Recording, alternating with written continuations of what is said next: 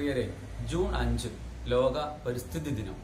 ഐക്യരാഷ്ട്രസഭ ഈ വർഷം നമ്മുടെ മുന്നിൽ ഒരു പ്രമേയം അവതരിപ്പിച്ചിട്ടുണ്ട്. എക്കോ സിസ്റ്റം റെസ്റ്റോറേഷൻ അഥവാ പരിസ്ഥിതി പുനഃസ്ഥാപനം എന്ന് പറയുന്നത്. നമ്മൾ സാധാരണഗതിയിൽ ജൂൺ അഞ്ചിന് ഒരു മരം നട്ട് നമ്മുടെ ദിനാചരണം നടത്തിപ്പോകും. അതല്ല യഥാർത്ഥത്തിൽ നമ്മൾ ചെയ്യേണ്ടത്. അതിനും അപ്പുറത്തെ വലിയ സന്ദേശങ്ങൾ ജൂൺ അഞ്ച് നൽകാനുണ്ട്.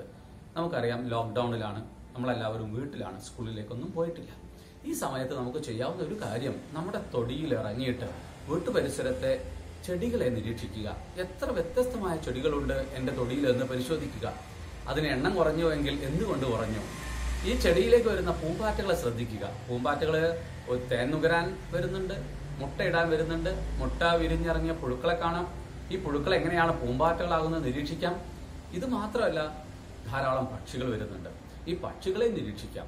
പക്ഷികളുടെ സ്വഭാവങ്ങൾ പരിശോധിക്കാം. അതോടൊപ്പം തന്നെ ധാരാളം പ്രാണികൾ. ഈ പ്രാണി ലോകം വളരെ വലുതാണ്. രാത്രി കാലങ്ങളിൽ നിങ്ങൾ നമുക്ക് തവളകളുടെ ശബ്ദം കേൾക്കാം. മഴക്കാലത്താണല്ലോ നമ്മളിപ്പോൾ നിൽക്കുന്നത്. അങ്ങനെ മഴയുടെ ഒരുക്കമുള്ള ഒരു സമയത്ത് തവളകളെ രാത്രി സമയത്ത് അതിന്റെയൊക്കെ ചേഷ്ടകളെല്ലാം ശ്രദ്ധിക്കാനുള്ള സമയമൊക്കെയാണ് ഇപ്പോൾ ഇങ്ങനെ വ്യത്യസ്തമായ കാര്യങ്ങളെ നിരീക്ഷിക്കാൻ നമുക്ക് പറ്റും. അതോടൊപ്പം തന്നെ ഇതിന്റെ നേരെ മറുഭാഗത്ത് ധാരാളം പ്ലാസ്റ്റിക് വസ്തുക്കൾ വീട്ടിലേക്ക് വരുന്നു. ഈ വസ്തുക്കളെല്ലാം നമ്മൾ എങ്ങനെയാണ് കൈകാര്യം ചെയ്യുന്നത് എന്ന് നിങ്ങൾ അന്വേഷിക്കണം. അത് സംസ്കരണശാലയിലേക്ക് കൊണ്ടുപോകുന്നുണ്ടോ? കത്തിക്കാൻ പാടില്ലാത്തത് കത്തിക്കുന്നുണ്ടോ?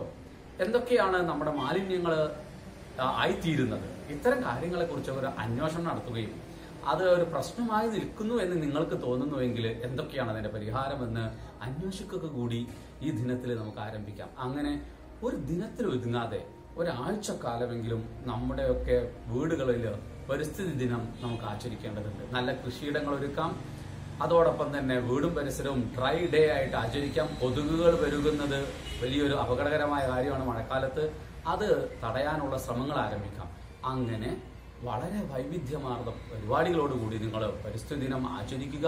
എല്ലാവർക്കും ഈ പരിസ്ഥിതി ദിനത്തിൽ നന്മകൾ നേരുന്നു. നിങ്ങൾ നല്ല പ്രോഗ്രാമുകളുമായിട്ട് ഈ ദിനത്തെ ഉഷാറാക്കി നമ്മുടെ ജനങ്ങൾക്ക് മുമ്പിൽ അവതരിപ്പിക്കണം.